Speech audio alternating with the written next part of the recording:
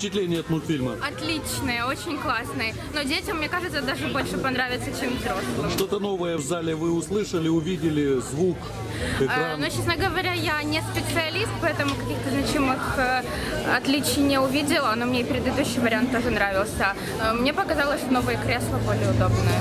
Вот, но вообще впечатление очень классное. Спасибо большое. Пожалуйста.